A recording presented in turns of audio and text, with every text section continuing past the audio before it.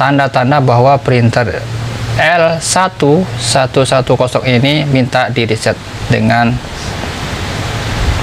munculnya tulisan service required ya. Nah, kita lanjut ya. Nah sekarang kita lakukan bagaimana cara ngeresetnya ya. Kita tutup dulu ya. Kita tutup cari aplikasi resetternya hmm, bagi teman-teman yang ingin memiliki ya resetter ini silahkan hubungi kami di kolom deskripsi. Ada nomor WA saya dengan biaya 50.000 ya. Oke. Assalamualaikum warahmatullahi wabarakatuh. Selamat datang di tutorial printer. Hari ini saya akan berbagi lagi bagaimana cara reset printer Epson L1110 atau L1110 tanda printer ini minta di reset. Seperti ini ya. Nah ini. Kita ulang ya dari awal ya. Kita matikan dulu supaya anda paham ya. Kita matikan ya. Kita hidupkan. Dia printernya akan nyala seperti ini.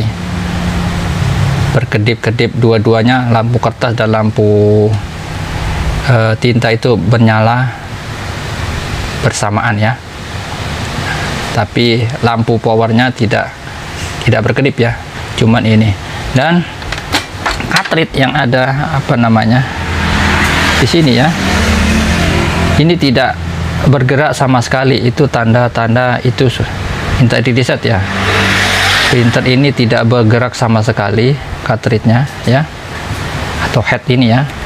Tidak bergerak sama sekali itu tanda-tanda bahwa printer itu minta di reset nah ada lagi tanda yang terakhir ya. Kita konekkan dulu dengan printer ya dengan laptop ya.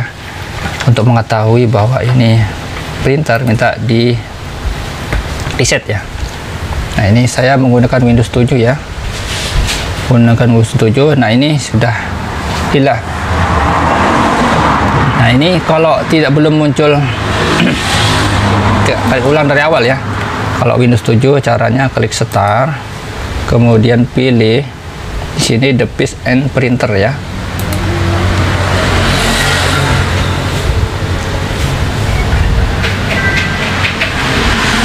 Tuh, baterainya lowbat ini ya. Ntar saya pasang charger dulu baterainya lowbat oke. Kita ulang ya. Bagi teman-teman kalau printer apa namanya uh, driver printer Anda belum terinstall maka tidak akan muncul seperti ini ya. Epson L31 L1110 ini tidak akan muncul. Maka silakan cari drivernya ya atau download drivernya driver untuk tipe ini. Nah setelah terinstall drivernya ya nah, akan muncul di sini ya. Nah seperti ini contohnya Epson ini ready ya tulisannya karena kita sudah menghubungkannya dengan laptop ya. Kalau dia tulisannya tidak ready maka pas dipastikan bahwa ini belum connect sama sama printernya ya. Oke silakan pindah-pindah colokannya sebelah kanan atau sebelah kiri ya. Itu ya colokannya supaya sampai dia muncul tulisannya ready di sini ya. Oke langsung saja kita klik di sini klik kanan pilih printer preferences.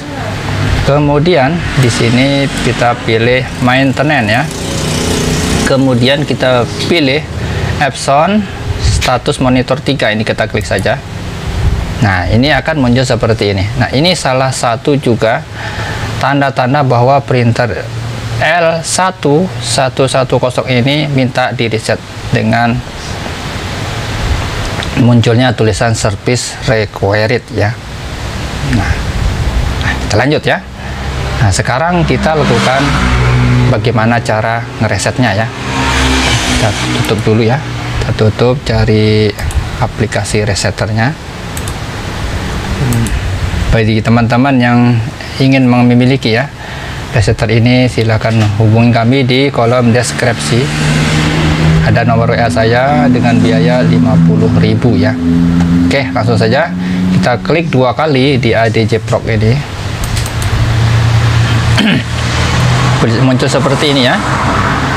Pastikan ya muncul seperti ini. Ini ini tipe printernya ya L ini ya. Sekarang pilih select ya klik select di sini. Nah, ini. Kemudian di port ini kita klik ya nah silakan cari di sini ya. Tipe printer yang kita gunakan tadi ya. Nah, kita cari ke bawah. Nah ini. Nah muncul ada di sini ya. Kalau tidak ada muncul di sini ya dipastikan bahwa printer sama laptop belum connect ya. Atau belum terinstall drivernya. Seperti itu ya.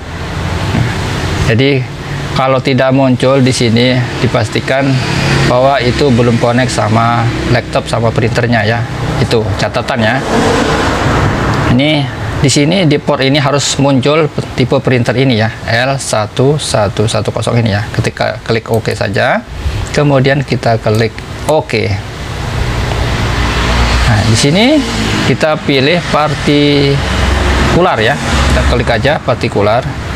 Di sini kita pilih was the in pad counter. Klik kita klik dua kali ya. Muncul seperti ini kita klik ini ya cek. Akan muncul sini ya tulisan ini. Harus sama ya jangan sampai berbeda caranya saya sama anda ya. Kalau berbeda maka tidak akan berhasil resetnya ya. Nah, kita setelah kita klik cek ini tadi kemudian muncul tulisan di sini ya ini. Kemudian kita checklist dua-duanya. Baru kita klik ini ya. Ini tialis ya. Kita klik saja klik. Nah muncul seperti ini kita klik OK.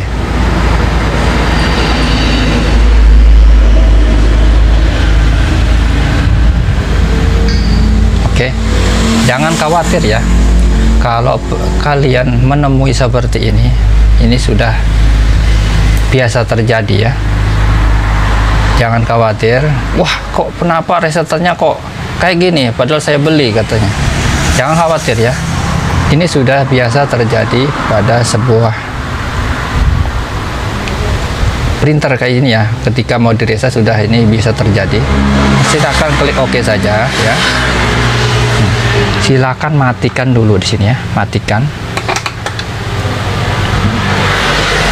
Ini cara mengatasi ya supaya di printer ini bisa di reset ya. Setelah matikan hidupkan kembali.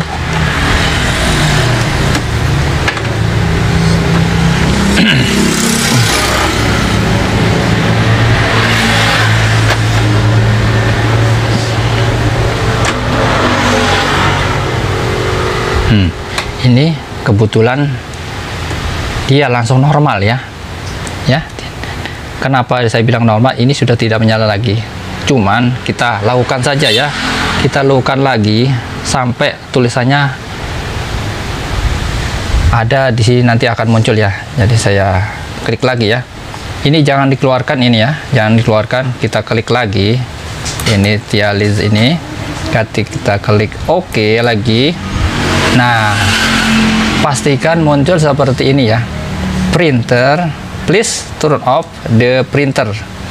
Nah ini langkah terakhir ini ya. Pastikan dia muncul seperti ini.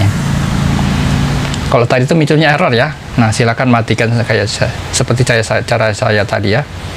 Nah ini perintahnya silakan matikan printer ya. Kita klik OK saja kita klik OK tetap muncul seperti ini. Sebelum kita matikan printernya ya. Nah sekarang kita matikan ya printernya. Nah ini baru di sini bisa diklik OK ya. Nah akan muncul seperti ini. Klik OK saja. Kemudian kita keluarkan ya aplikasi ini atau resetter ini. Kita keluarkan semuanya. Nah ini sudah selesai ya. Sudah selesai kita ngeresetnya. Sekarang kita hidupkan kembali ya printernya apakah dia sudah normal benar-benar normal ya hmm kalau tadi itu dia setengah-setengah ya karena keluar error kita ulang lagi sampai muncul printer turn off ya apa tadi tulisannya ya seperti itu saja seperti itu tadi Nah, ini sudah normal ya, printer sudah normal. Nah, kita cek di sini ya. Tadi kan kita klik monitor tadi ya. Klik ini ya, monitor ini kita klik. Nah, sekarang tulisannya di sini ready ya. Kalau tadi tulisannya service required, sekarang dia muncul ready, berarti siap dipakai.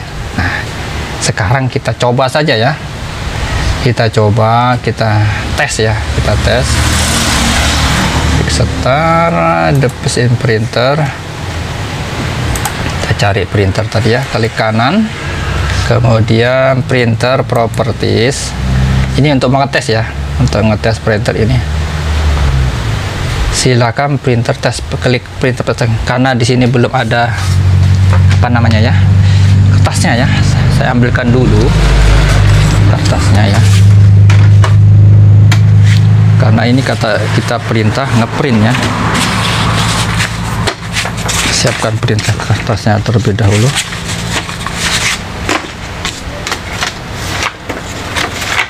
ya silakan isi uh, kertas ya beberapa lembar dua lembar minimal ya. Oke sudah itu. Kemudian kita baru kita klik printer test pack ya. Ini untuk mengetes printer ini ya. Nah printer sudah jalan ya. Nah ini sudah berhasil ya. Perhatikan ini. Hasil kita ngeprint. Epson L110 nah ini saya risetnya pada tanggal ini ya. 8 eh tanggal 28 bulan 8 2003 nah ini saya melakukan registrasi. Ada printer ini. Dan